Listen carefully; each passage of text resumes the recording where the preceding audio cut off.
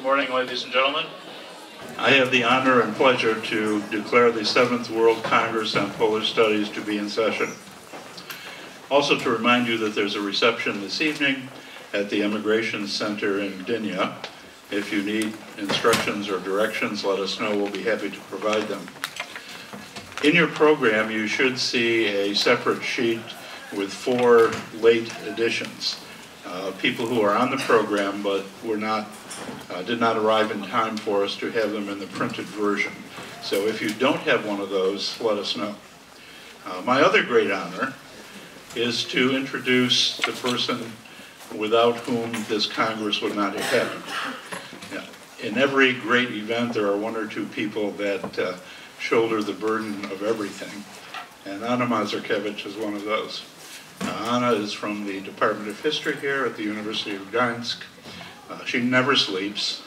She always works. And I don't know how she gets done everything she gets done. But whatever you experience that may be pleasurable at this conference is due to her. Anna?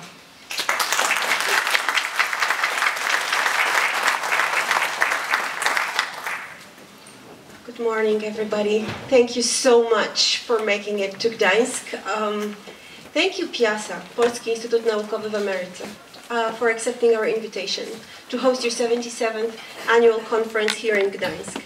In the city that, um, the city where history has been made over and over uh, throughout centuries, often with national and global implications. We are honored and delighted um, as organizers um, to partner with PIASA. We are also honored and delighted to, uh, by the support received from our co-organizers, the Emigration Museum in Gdynia, as well as from the Museum of Gdańsk. I would like to recognize the support received from the U.S. Embassy in Poland.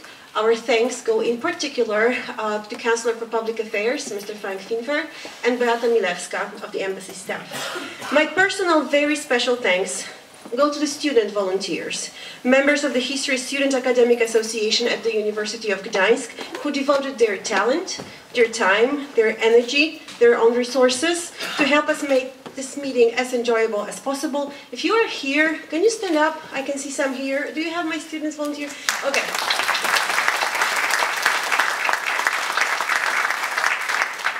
Among partners, there are also Alumni Association consisting of the graduates of the United States State Department exchange programs, the Polish American uh, Fulbright Commission, which is celebrating 60th anniversary um, of its operations in Poland, as well as our good friends from the Polish American Historical Association, who are returning to Gdańsk after seven years uh, for a conference if you guys remember 2012 and you thought that program was packed, well, look at your program again, okay? Welcome to Gdańsk, keep coming.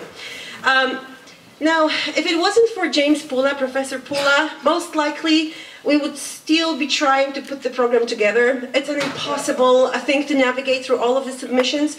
Uh, my rock, my biggest um, support, without him I would not have been able to do anything here. Jim, thank you very much. Last but not least, thank you to all of you who have submitted uh, paper proposals. Thank you for deciding to choose to, to, to come to Gdańsk um, and share your research with us. We hope you will enjoy your time here um, in likely the best place in Poland, um, the three city consisting of Gdańsk, Sopot, and Gdynia. We are honored uh, to announce that the mayors of the cities of Gdańsk, Aleksandra Dulkiewicz, and Gdynia, Wojciech Szczurek, have extended their honorary patronage over our conference. We are also delighted by the support and honorary patronage of the rector of the University of Gdańsk, Professor Jerzy Gwizdała. And at this point, I would like to int uh, introduce and welcome to the podium the Vice Rector for Research and Foreign Cooperation, Professor Piotr Stepnowski, who has supported and assisted our efforts from the very beginning. And I have just learned, can I share the good news? We are going to be treated... No, no, don't do that. I will not.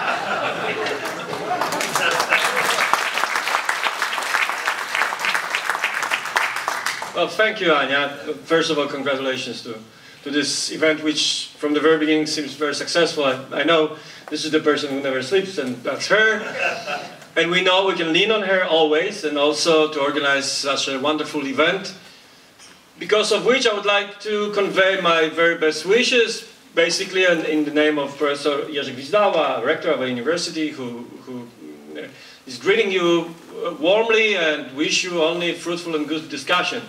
But, uh, well, I know this conference is for the first time in our beautiful city of Gdańsk, or beautiful region of Tri-City, including Gdynia also, and we are very honored. We are very honored for, for several reasons. First of all, we are University of Gdańsk, University of Gdańsk, which is uh, relatively young one. We are just uh, starting our 50th uh, um, anniversary, but history goes far uh, mm, longer to the past, which I will reflect in a second. The, the, the second obvious issue is Gdańsk is of its specificity in historical milestones, one of the most important city in this very region of Europe, uh, with its uh, huge influence on European history, uh, relations uh, between countries that shared this city for ages, uh, quite complicated uh, moments in the history, but always at the end, uh, Gdańsk was a winner. And starting from the very ancient uh, uh, traces of our influence on the uh, historical structure of this part of Europe, ending with uh, Solidarność movement, which started right here. As I told you, uh, University of Gdańsk is starting its jubilee year. Now we, are, we will celebrate our 50th birthday next March, but our history goes back to uh, times of academic gymnasium. That was in Gdańsk, established already in 17th century. And in 19th century, we had a wonderful professor uh, called Mrongowiusz, Mrongowiusz who, is, uh, who was actually responsible for Polish studies in that very complicated time of, of Gdańsk in 19th century, as you know. And he was the one promoting Polish language in, uh, between people inhabiting this region, Kashubians, and uh, uh, many, many others. And he is actually right now uh, our honorary patron of the prize for the best academic teacher. Because of the 50th anniversary, we decided to issue a special Jubilee beer. Gdańsk was a brewery city always, called Mrongowiusz, and uh, this was the one she, uh, she wanted to steal my show. I, I will convey uh, 200 bottles for today's banquet of this very beer to you. So.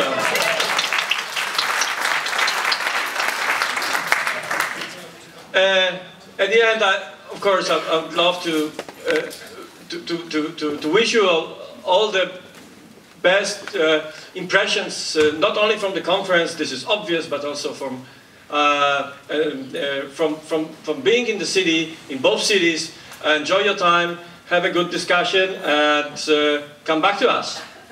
Welcome to Gdańsk.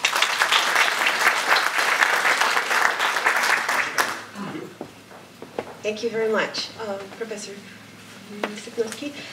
Right now, I would like to uh, welcome to the podium the host, our boss here, the Dean of the Faculty of History, uh, who will extend his warm welcome um, to all of you in Polish. Panie profesorze, profesor Wiesław Długokański, zapraszam.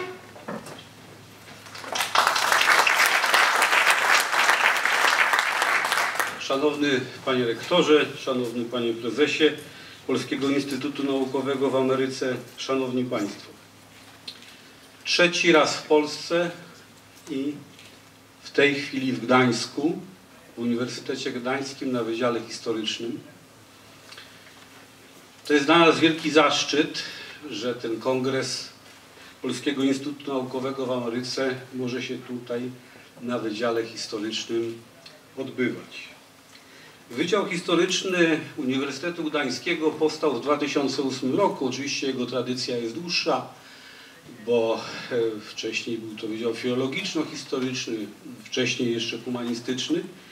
Niemniej jednak w tej chwili mamy samodzielność. Wydział składa się z trzech instytutów historii, archeologii, etnologii historii sztuki. Uprawiamy naukę w kilku dyscyplinach, mianowicie historia, archeologia, nauki o sztuce, nauki o kulturze i religii.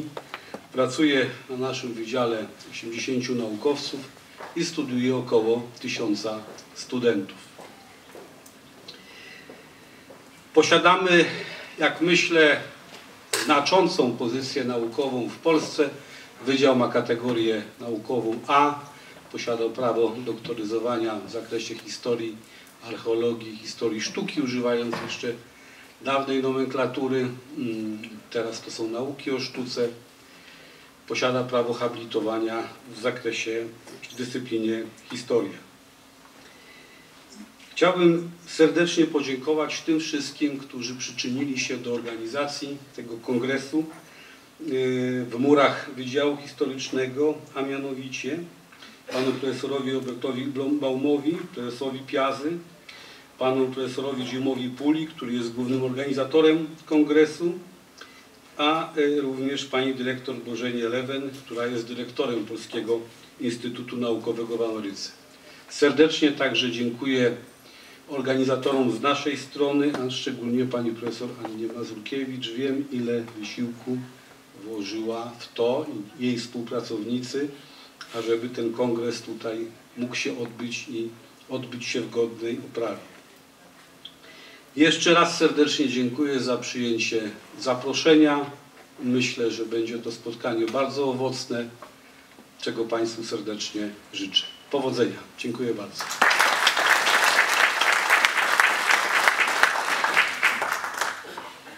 Moving on to the great finale of our welcoming remarks, I am honored, uh, delighted, and thrilled to welcome here um, the president of the Polish Institute of Arts and Sciences of America, Professor Robert Blobaum.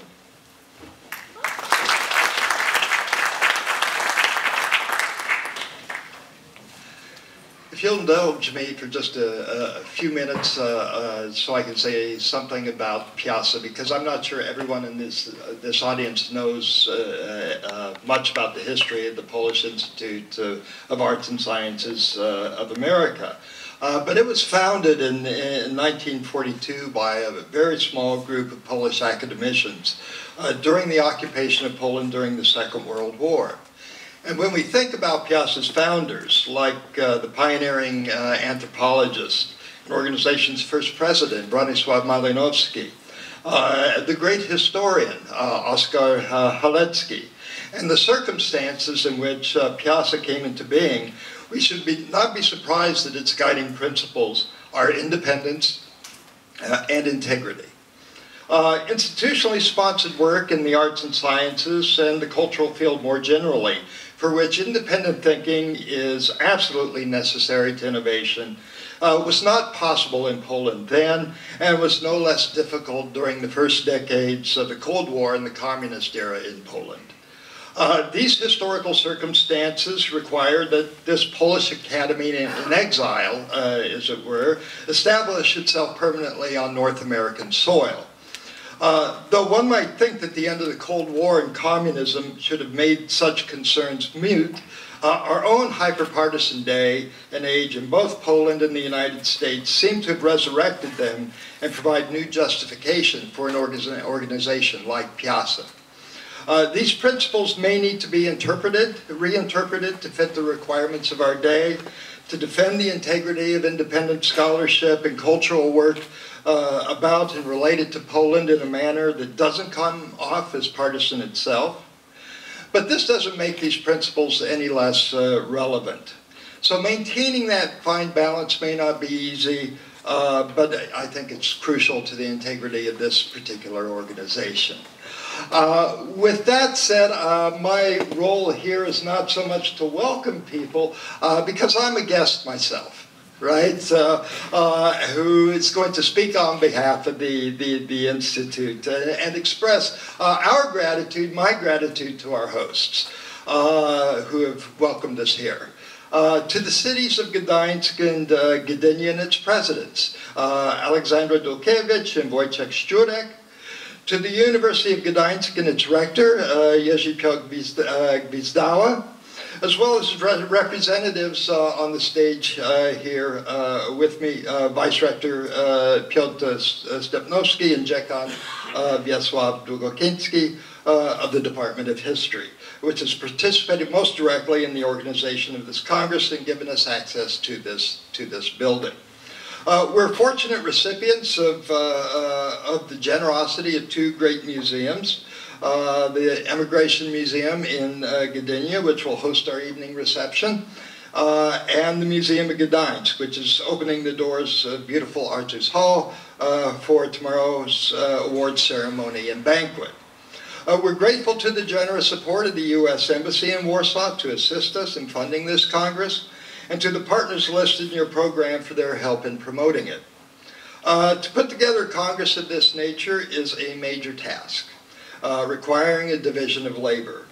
Uh, I would like to thank those individuals on, on the organizing committee who had a hand in this one way or another. Uh, Ar- Arkadiusz Janicki, uh, Beata uh, Możejko, uh, Magdalena Nowak, uh, and Przemysław Różański from the University of Gdańsk, uh, all of them, and from PIASA, our executive director, Bożena Leven, and uh, board members Neal Pease and Renata uh, Vickrey. Uh, the two individuals who are chairing this panel, uh, this opening session, however, done the real heavy lifting. Let's not fool ourselves. They've done the heavy lifting. And the rest of us have played sort of more, more minor supporting roles.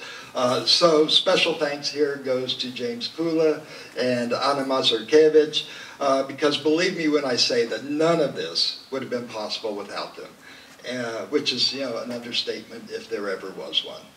Um, so the rest now is up to us. Uh, so let's use the, the groundwork that they have uh, laid to make this an amazing uh, and memorable conference.